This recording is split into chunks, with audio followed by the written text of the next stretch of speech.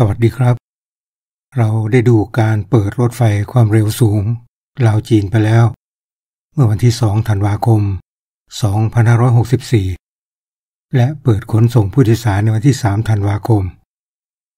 เราทราบว่าสถานีรถไฟในจีนมี 14 สถานี ในลาวมี 10 สถานี คือ 1 สถานีบ่อเต็น 2 สถานีนาเตย 3 สถานีนาหม้อ 4. สถานีเมืองไซ 5. สถานีเมืองงา 6. สถานีหลวงพระบาง 7. สถานีกาสี 8. สถานีวังเวียง 9. สถานีโพนโฮง และ 10. สถานีนครหลวงเวียงจันทร์แต่ก็มี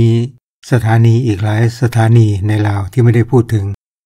เพราะเป็นสถานีขนส่งสินค้า เราก็จะมาดูว่าสถานีรถไฟในลาวมีสถานีใดบ้าง สถานีแรกของเราที่ติดกับชายแดนจีนก็คือสถานีบอเตนผมได้ฟังสาว 12ปันนาแนะนำเส้นทางรถไฟ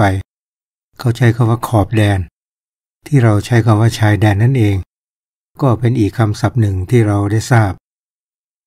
จากสถานีบอเตนก็จะเห็นโลโก้สีแดง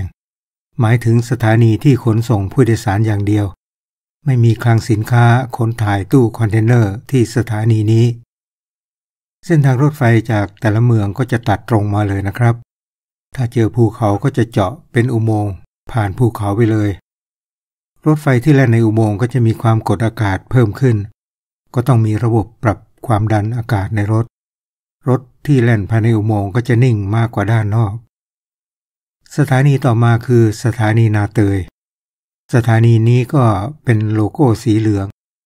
ก็คือขนส่งผู้โดยสารและมีคลังสินค้าขนถ่ายตู้คอนเทนเนอร์ที่สถานีนี้ด้วย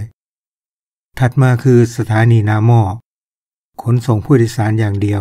ใช้โลโก้สีแดง จากสถานีนาหม้อต่อมาก็จะเป็นสถานีนาทอง สถานีนาทองนี้ก็จะไม่มีผู้โดยสารขึ้นลง เพราะเป็นสถานีขนส่งสินค้าอย่างเดียว ใช้โลโก้พื้นสีดำหรือสีน้ำเงินเข้ม รถไฟที่ใช้ในการขนส่งสินค้าก็ไม่ใช่รถโดยสาร ถัดจากสถานีนาทองก็เป็นสถานีเมืองไซ สถานีนี้ก็เป็นโลโก้สีเหลือง ก็คือขนส่งผู้โดยสารและมีคลังสินค้าขนถ่ายตู้คอนเทนเนอร์ที่สถานีนี้ด้วย รถไฟความเร็วสูงที่เป็นรถโดยสารกับรถขนส่งสินค้านี่ก็แยกกันนะครับ เพราะการขนส่งผู้โดยสารก็ต้องการความเร็ว จะไม่ลากตู้สินค้าไปด้วย ปกติรถไฟขนส่งสินค้าก็จะวิ่งในตอนกลางคืน ใช้ความเร็วประมาณ 120 กิโลเมตรต่อชั่วโมง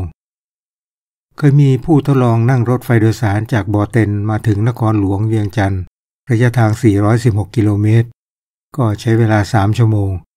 ก็นับว่าสะดวกในการเดินทางมาก ผมก็จะขอจบคลิปที่สถานีเมืองไซนี้นะครับ คลิปหน้าก็จะได้เล่าให้ฟังต่อไป พบกันใหม่ในคลิปหน้า วันนี้สวัสดีครับ